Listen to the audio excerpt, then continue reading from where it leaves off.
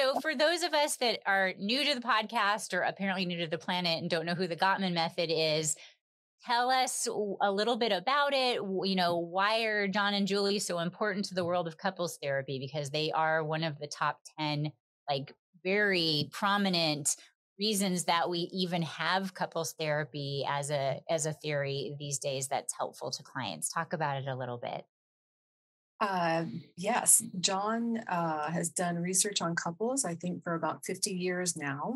Um, and he actually studied couples who were healthy as well as couples who were uh, really struggling. So, you know, before he did this research, we kind of thought that, um, you know, that our whole reason and, and basis of doing couples therapy was based on couples who were not healthy, right? Um, mm-hmm. they were in crisis, they were struggling. And so we really didn't know what healthy relationships looked like. We just thought they looked like the opposite of the relationships that came into our offices. Uh, and in fact, that's not true. So that's pretty exciting. Um, and in some ways, there's not a whole lot of differences between couples who are healthy and couples who are struggling. Um, they all miscommunicate, they all have conflict.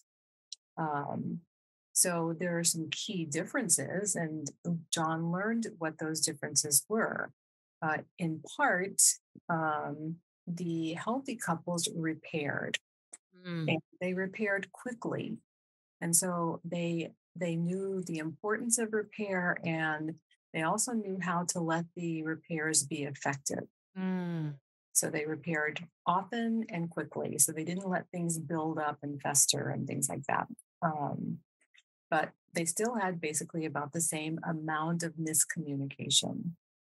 So, so what I'm hearing you say then is what you found out is that conflict was normal. It didn't mean that there was dysfunction happening in the relationship, but the masters of relationships, as we like to call them, right, in the Gottman method, who are accidentally doing it well, they felt this urgency or this need or this.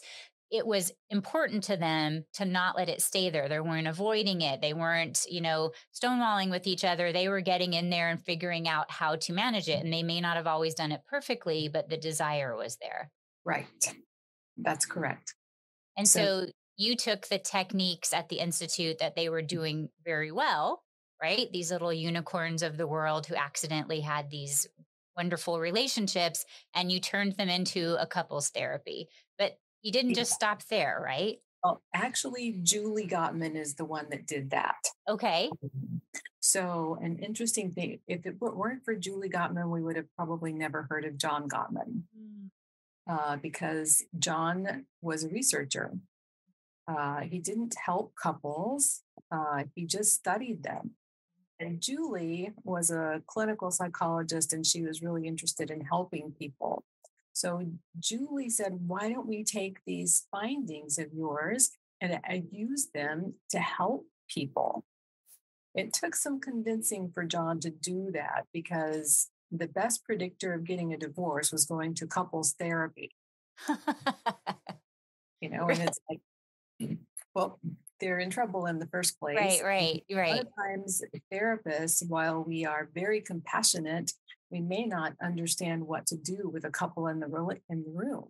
Absolutely. Right? How to help them. Uh, so, um, so Julie and and John together came up with these interventions to actually help couples, uh, help them have more productive conversations, help them to have the difficult conversations that they needed to have, right? So they provided kind of a, a semi structure for them, um, guidelines for them to kind of keep them on track. Uh, to repair relationships, to talk about their ongoing differences. Uh, they also uh, helped them learn how to tune back into each other, uh, to be more emotionally connected, uh, to rebuild connection, right? And deepen the connections when they have them.